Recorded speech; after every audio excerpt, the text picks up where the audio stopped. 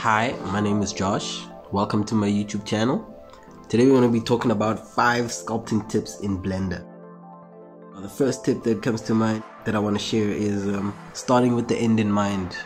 Uh, this is something that's really important and it's a time saver, a huge time saver. It can help you eliminate unnecessary noodling and unnecessary sculpting. So figure out what you're making uh, as quickly as possible so that you don't waste time setting up things that you're not going to use. If you're making a model that's going to be animation ready, set it up properly for that. If you're just making a sculpt that's going to be in pose, then you you're going to set it up for that and you're not going to waste time doing unnecessary things.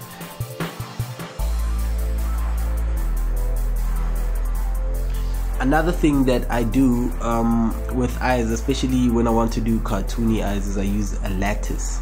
A lattice helps you because, um, yeah, you can stretch a sphere and basically make it fit into the model, especially uh, with something that looks like the concept that we have here. Yeah, you could easily uh, scale the, the sphere sideways, but the problem is it will not rotate correctly. Um, so if you rotate it along its uh, local z-axis it will not move like an eyeball and that might give you problems if you want to uh, uh, pose the eyes for example. And usually I use the initial sphere as a placeholder for my uh, higher res eyeball mesh. So I use a lattice so that um, even though I stretch the sphere or whatever, I can still um, rotate the the eyeball as if it was a normal sphere. So when the character looks to the right, it still is gonna stretch within the shape of the um, lattice. Another tip that's linked to that is going from big to small what that means is it's a concept where you kind of put all the big blocks in place first then you can go down into the nitty gritty details.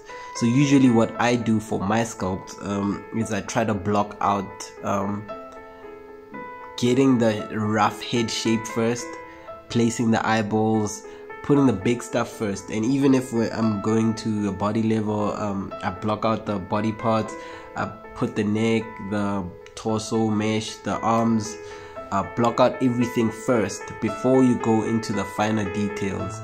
Um, because if you go too early into details um, and then things are not set up properly you might have to go back later on after you after you reworked everything to uh, sculpt that particular detail again because too much has changed or whatever.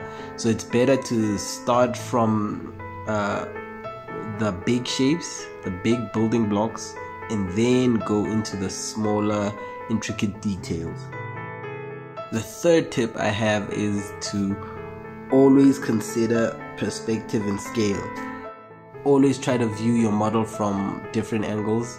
Always spin it around. Um, if you do use um, orthographic view uh, in sculpting don't use it for too long because it's not giving you an accurate representation of what your model actually looks like.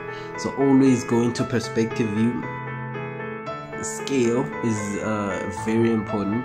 Uh, always uh, apply scale when sculpting because when you stretch and uh, scale things up uh, sometimes you forget to apply the scale and then that affects how your brushes work in in sculpt mode. So always consider perspective and scale uh, when you're sculpting. The the biggest tip that I have is find your own workflow. Experiment in blender.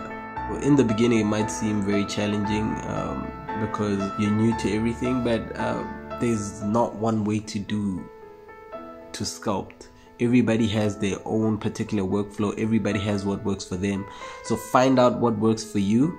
Try to um, experiment with different brushes. See what they do. Um, and as you're making models as you sculpting um, you'll kind of find the brushes that help you do what you need to do and the ones that don't work for you. Um, I think that's better. Um, yes watch time lapses watch uh, tutorials that helps. Uh, it might give you ideas and might lead you into things that you may have not thought of on your own, but also experiment because the things that you learn on your own are the ones that really stick. And uh, I think personally, it's better to develop your own workflow than to rely on someone else's workflow because you don't know how they got to that part. But if you experiment with the tools yourself, um, and you learn what they do, that kind of knowledge kind of sticks around a lot more than me telling you what to do. So, um, moving on with the sculpt, this is where I'm posing um, the body. Um, putting it in pose i like to start symmetrically for if i mean if the pose is not too extreme then i like to start symmetrically then try to pose it later with the tools that are in blender. So i'm using the pose brush here. I'm using um, uh, scaling and rotating. Um, and then i'm gonna align the dress to to the new pose.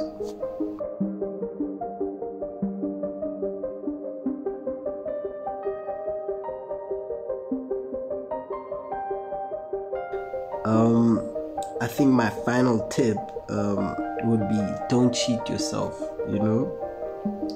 And by this i mean um, if you're at a beginner level you don't know how to sculpt anything um, then i think it would be best to not rely on things like base meshes um, things that things that are like halfway sculpted and then you can buy on the internet. Yeah if you need to do something quick sure that'll be fine but um, if you really want to learn how to sculpt you need to try to put those blocks in yourself and try to figure out human anatomy try to figure out the human figure and what it looks like for yourself because that would allow you to be more expressive you know but if you always rush to base meshes sometimes you can't really get the look that you want uh, because you're too reliant on the base mesh. So I'd encourage you to try to start from a sphere uh, every once in a while um, and build out your models from there.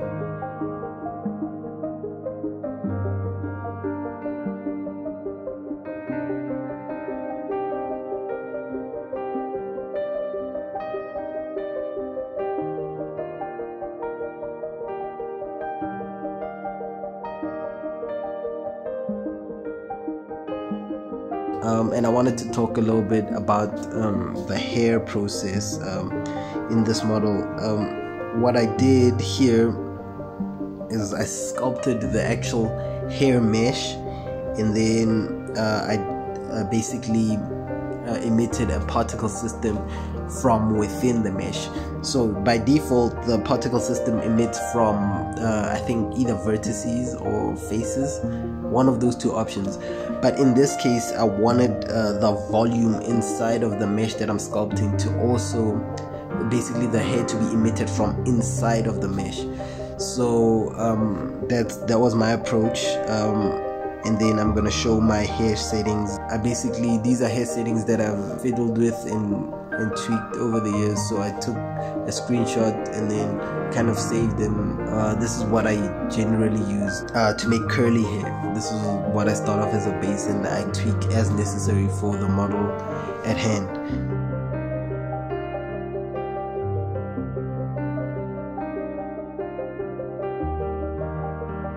At the time of this recording, I'm using um, Blender 2.93 to add sculpt vertex colors. That's how I got to paint the model. Um, I had two layers for the face. One had the color layer and one was used to mask out the glossy area and the not so glossy area so that I can have the lips uh, with a kind of lip gloss effect.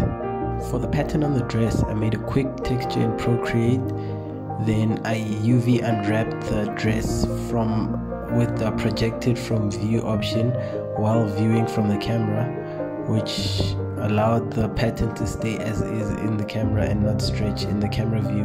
So it can stretch everywhere else around the dress but it doesn't stretch from the camera view. Please let me know what you guys would like to see next. Um, i'm really looking to make content that's impactful and that helps you guys out uh, but that's it from me. Thank you for watching and i'll see you on the next video